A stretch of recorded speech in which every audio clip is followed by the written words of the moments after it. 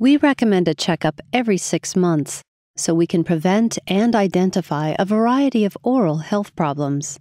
Each visit will be different based on your individual situation, but generally, checkups include several steps. We'll start by reviewing your concerns, dental chart, and medical history so we can provide the most appropriate care for you. The checkup also includes cleaning your teeth. This enables us to clearly see the condition of your teeth and gums, and it removes the plaque, tartar, and bacteria that cause tooth decay and gum disease. If needed, we may polish your teeth to smooth their surfaces and remove stains. A regular checkup also includes a careful exam of your mouth. Some conditions we can see by looking, so we'll do a visual exam to check for decay on the biting surfaces of teeth, signs of wear, cracks, or other problems with restorations, such as fillings and crowns, as well as any abnormal loss of tooth structure. At the same time, we'll check the color and contours of your gums. Red, swollen gums are often signs of gingivitis or periodontal disease. We'll use a periodontal probe to check the depth of the spaces between your teeth and gums. Readings deeper than 3 millimeters often indicate periodontal disease.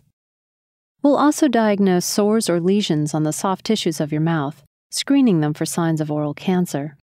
Other conditions can't be seen easily, so we often take x rays. X rays show us decay between and inside the teeth, and tartar on the teeth and tooth roots. X rays also show us signs of periodontal disease, such as receding jawbone around the teeth. In addition, X rays allow us to see cysts, abscesses, and other problems. Depending on the circumstances, we may also examine your jaw joint to help diagnose problems with your bite, or TMJ. Sometimes, checkups include additional treatments based on your individual situation.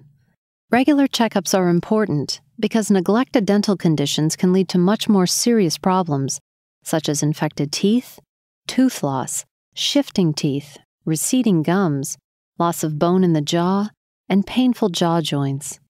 With regular exams, we can detect problems early and help you maintain your oral and overall health.